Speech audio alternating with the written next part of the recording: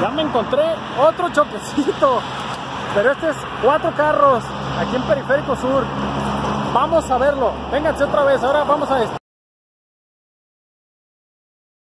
Vamos al responsable por alcance.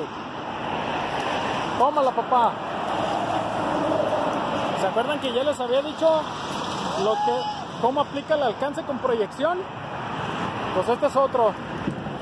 Este Jetta le pegó una camioneta blanca. Ahora vamos. Aquí está la camioneta blanca. Chécate los costados.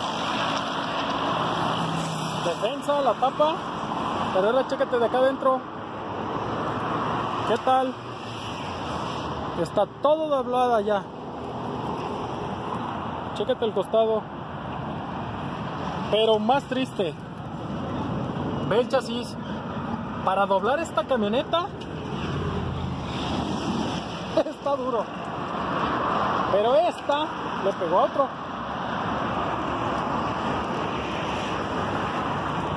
Estos son los daños delanteros de la camioneta. Se le alcanzaron a salir los faros. Ahora vamos a ver al que le pegó la camioneta. Todo lo de atrás del Chevy. Ahora vamos para adelante para que lo veas. No se nota tanto físicamente, pero adentro está todo metido. Aquí se metió todo, mira. El plástico regresó a su lugar. Pero por dentro tiró todos los líquidos. ¿Sí se alcanza a ver o no? Está mira, el refuerzo, radiador, todo está metido. Ahora vénganse. Este es el otro.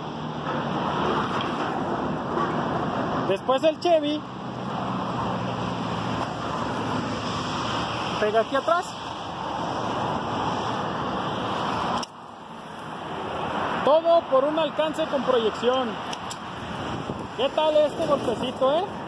Pues ahora les voy a platicar ya al final de esto. Este choque en particular, el Jetta le pegó a la camioneta. La camioneta se proyectó contra el Chevy y el Chevy se proyectó contra el Escort. ¿Qué pasó en este choque? Alcance con proyección, pero platicando con la persona del Jetta, me estaba diciendo que ese carro llevaba cuatro años sin seguro. Es un Jetta modelo 2000. Cuatro años sin seguro y lo acaba de asegurar hace 15 días. Porque uno de sus parientes, que también es agente de seguros, como yo, le estuvo insiste, insiste, insiste. Entonces esta persona dice, bueno, ya deja de insistirme tanto. Te pago el seguro. Sé que de algo me va a servir, esperando. Pues ándale que ahora en periférico, muchos aquí en periférico en Guadalajara lo vieron, porque se atoró todo periférico sur. Hay periférico y. Entonces, si no hubiera tenido póliza de seguro el Jetta, fíjate, son tres pérdidas totales. El Jetta es pérdida, la camioneta es pérdida, el Chevy es pérdida y el Escort de hasta adelante no. Trae solamente el daño trasero. Pero este aquí prácticamente con una póliza que pagó de 5 mil pesos el año, porque es un Jetta modelo 90, y si la sacó en cobertura amplia, con 5 mil pesos se ahorró mucha lana, 40, 50 mil pesos más o menos de la camioneta. De su carro, ¿qué te gusta? 40 mil pesos que ande costando el Jetta. Y el Chevy, ese de otros 45 mil pesos. Se ahorró una lana. Entonces, ¿qué pasó en este? Se ahorró 130 mil pesos en daños. Nada más en daños, porque también hubo pases médicos que la aseguradora del Jetta pagó. Más o menos el pase médico anda sobre 2 mil pesos. No sé, ahí sí no, te voy a fallar con cuántos fueron. Pero a lo que voy, con 5 mil pesos de su póliza que, que pagó, eh, ya le cubrió una lana. Entonces, él ya no lo desembolsó. A él le van a reparar su carro con un deducible del 5%. Ese 5%, fíjate bien, es del valor del carro, no del valor de los daños. Muchos tienen todavía esa duda de que si le pegan un carro muy caro y los daños son cuantiosos, tienen que pagar sobre el valor del daño, pero no. Es el 5% de lo que vale su carro. Entonces, paga su deducible, se lo lleva a su aseguradora, se lo van a dictaminar, pérdida total, obviamente, ya viste los daños, le sacan su cheque y listo. Él ya no se metió en una broncota. Aquí es cuando muchas veces decimos, es que los seguros no sirven. él pensaba que para qué asegurar el carro si tenía cuatro años con el carro nunca había chocado. Entonces son esas pequeñas situaciones donde nos metemos en un problemón en caso de no contar con una póliza de seguro.